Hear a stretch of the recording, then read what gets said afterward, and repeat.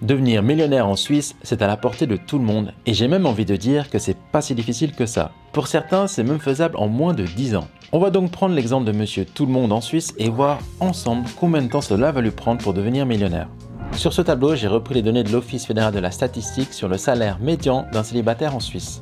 Au niveau des revenus, on est sur un salaire net mensuel de 5000 francs, donc x 12, ça fait environ 60 000 francs. Donc là, vous allez vous dire que ce salaire, il correspond pas vraiment à votre situation personnelle. Il faudrait aussi le mettre en relation avec votre canton. Donc admettons, vous résidez dans le canton de Neuchâtel ou bien dans le Jura. En principe, les salaires sont quand même un peu moins élevés que la moyenne nationale. Donc vous pouvez diminuer ces montants de 10 à 20% et ça devrait se rapprocher de votre situation personnelle. Mais en revanche, si vous êtes dans le canton de Lausanne ou bien de Genève, bien évidemment, votre salaire médian sera certainement beaucoup plus élevé que le salaire net médian national.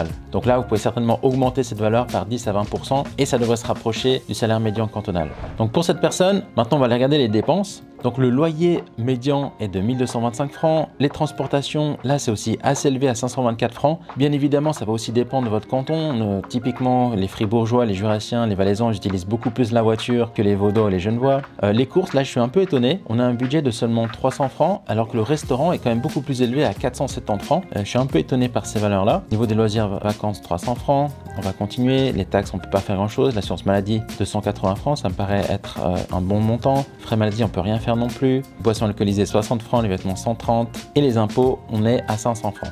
Donc notre Suisse médian célibataire, il a la capacité d'épargner environ 900 francs tous les mois. Donc maintenant, ce que j'aimerais regarder, c'est sa projection sur sa fortune dans les 10 prochaines années. Je nous ai fait un petit tableau. On va admettre que cette personne laisse tout à la banque il obtient un rendement de 1%. Et on va aussi prendre en compte son deuxième pilier. Alors j'ai estimé qu'il cotisait lui et son employeur à 500 francs. Après 10 ans, en laissant toute son épargne sur son compte bancaire avec un taux d'intérêt de 1%, on aurait une épargne totale de 224 000 francs. Les calculs sont pas bons, Kevin. Maintenant, je vous propose une petite variation. Au lieu de laisser son argent à la banque avec un rendement de 1%, on va le placer en action. On va prendre un taux historique de 7,7%, c'est le rendement historique des marchés des actions suisses. Alors c'est un rendement qui n'est pas garanti, hein. je ne sais pas si dans les 10 prochaines années, il va réussir à obtenir ce rendement-là. Donc c'est vraiment une simulation. Dans ce cas-là, il aurait un capital après 10 ans d'environ 291 000 francs. On est loin du compte, mon pote Comme on est encore loin du million, on va devoir faire des ajustements dans son budget.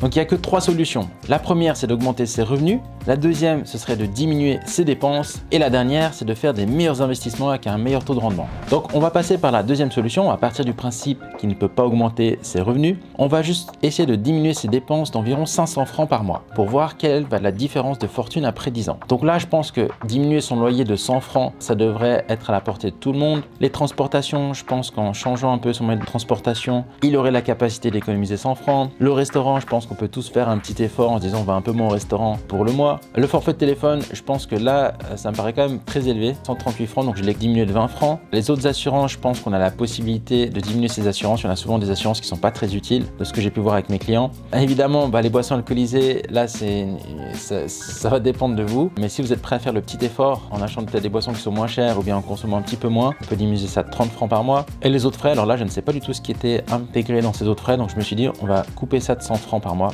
Donc dans ce cas-là, maintenant, notre personne arrive à économiser tous les mois environ 1400 francs, soit un taux d'épargne de 25% de ses revenus. Quelle va être sa fortune après 10 ans? Donc je reprends mon tableau, on va commencer à économiser en décembre 2023, et après 10 ans, on aurait un capital de 405 000 francs. C'est pas mal, on est demi-millionnaire déjà. Nice donc on a pu voir qu'en coupant seulement 500 francs tous les mois, ça nous permet d'avoir une épargne de 100 000 francs supplémentaires après 10 ans. C'est quand même sympa. Mais on va aller beaucoup plus loin. Cette fois, je vous propose d'aller à la limite du supportable en essayant de couper vos dépenses de 2200 francs. Là, on part vraiment dans un profil qui est très sérieux dans cette mission. Donc, il va essayer de couper son loyer en deux. Donc ça, c'est entièrement possible s'il se met en colocation ou bien s'il se marie et qu'il se partage un petit studio ou bien un petit deux pièces. Les frais de transportation, on a aussi coupé ça encore de 200 francs supplémentaires. Donc là, on a une personne qui va vraiment utiliser au minimum sa voiture, peut-être faire du covoiturage ou bien utiliser au maximum les transports publics. Les courses, bah ça, on ne peut pas le diminuer. Hein. Ça, je vous propose de ne pas le faire. C'est mieux d'acheter des bons ingrédients, de manger de la qualité que de commencer à manger des pâtes tous les jours. Euh, restaurant, je pense que ça, on peut clairement diminuer dans le restaurant Téléphone, on avait déjà diminué de 60 francs. Les autres assurances, bah là, on va partir du principe que notre personne ne veut vraiment aucune autre assurance. Poisson alcoolisé, euh, j'ai la même chose. Et les autres frais, je ne sais pas exactement ce que c'est, mais on va couper ça encore de 50 francs supplémentaires. Notre personne, elle a un taux d'épargne de 44%. Je sais que c'est faisable d'arriver à des taux d'épargne de 44 jusqu'à 50%. J'ai vu beaucoup de personnes qui ont aussi à tenir ce long terme, mais c'est pas évident. C'est un autre mode de vie, c'est une autre conception de la vie. Évidemment, bah là, on va plus permettre d'acheter une grosse voiture. On va de manière beaucoup plus simple, partir euh, peut-être moins en vacances, mais aller peut-être plus en montagne, plus faire de randonnée, de balade au bord du lac. Euh, donc c'est un autre mode de vie. Voyons voir ce que ça donne au niveau de la projection de la fortune de notre petit Suisse. Donc après 10 ans, vous auriez un capital d'environ 525 000 francs. Donc c'est pas mal, vous êtes très proche du million. Et ce qui est intéressant, c'est qu'en rajoutant seulement 5 ans, donc au lieu d'épargner pendant 10 ans, vous épargnez pendant 15 ans, vous seriez enfin millionnaire. 957 000 francs.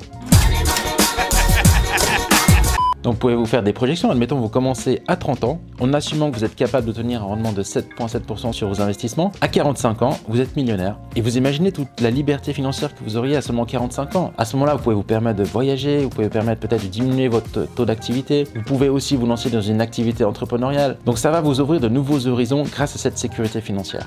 Donc on a pu voir sur ces projections, un salarié moyen qui arrive à mettre 900 francs d'épargne à la banque aurait un capital d'environ 200 000 francs après 10 ans. Si à la place de le mettre à la banque, il décide de l'investir en bourse et qu'il est capable d'obtenir un rendement de 7,7% sur les 10 prochaines années, il aura un capital d'environ 300 000 francs. Si c'est pas assez suffisant pour lui, il essaie de mettre 500 francs de côté en plus, donc il va diminuer ses dépenses, il va investir ses 500 francs en bourse. On arrive maintenant à un capital d'environ 400 000 francs après 10 ans. Et une personne qui est encore beaucoup plus agressive, alors c'est très difficile mais c'est faisable, qui est capable de mettre 2200 francs d'économie supplémentaires tous les mois en bourse, il aurait cette fois un capital de 500 000 francs. Et dans cette projection, on a vu que s'il continue ça pendant 15 ans, il serait enfin millionnaire. That's really impressive.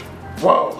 Si vous êtes intéressé pour préparer votre budget ensemble, préparer votre planification sur les 10 prochaines années et investir en bourse à travers votre troisième pilier ou un compte d'investissement, vous pouvez suivre ma formation qui est dans la description. Vous avez une formation qui est gratuite sur 5 jours. Ou bien vous pouvez me contacter avec mon adresse email aussi qui est dans la description.